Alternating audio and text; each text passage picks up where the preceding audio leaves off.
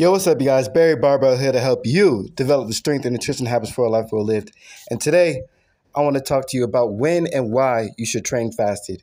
So, I've been training fasted for a few years now, and it's actually been working pretty well for me. So, I just want to maybe share you guys a few of my insights about training fasted so you can make a better decision about when is when it's appropriate for you if you decide to do it.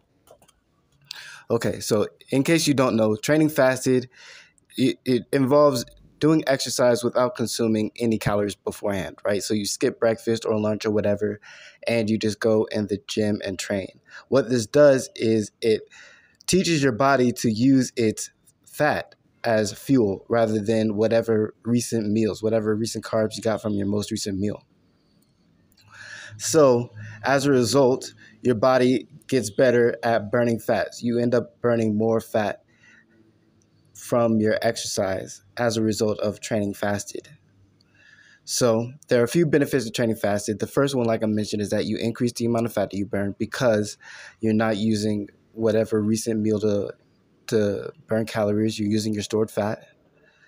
Number two is you improve your insulin sensitivity. So if you're a person who uh, is diabetic, suffering from type 2 diabetes, then this could be a way to increase your insulin sensitivity as training fasted will teach your body to better process the glucose. Whenever you do eat, it'll teach your body to process that glucose more efficiently.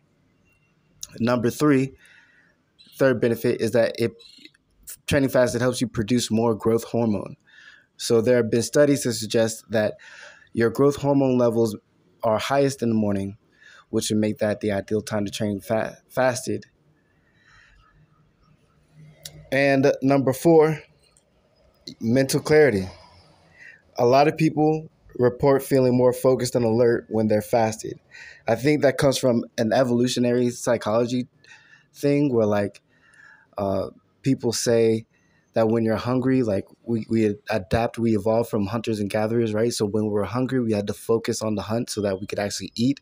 And so when you train fasted, is like you replicating that that hunter the hunter mindset while you're in a civilized context, like within the gym.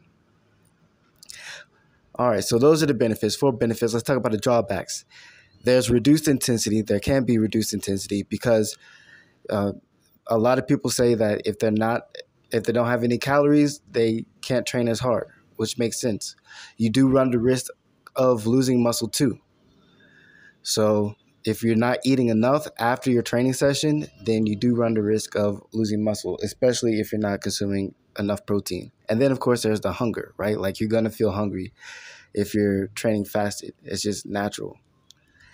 So those are the drawbacks. Now you know the benefits. Now you know the drawbacks. You can hopefully make a better decision about if training fasted is right for you. Like if you can deal with the hunger, if you can train hard regardless of how you feel, and if you're looking for the extra benefit of losing extra body fat from your training without really having to do too much else, without really having to change your diet at all, then yeah, training fasted might be for you. So you guys do your own research. I say give it a if you're gonna try it, do it for like a month or so just to see how it works for you. It'll take your body some time to adapt. It'll definitely take your mind some time to adapt because a lot of people are just in the habit of eating as soon as they wake up.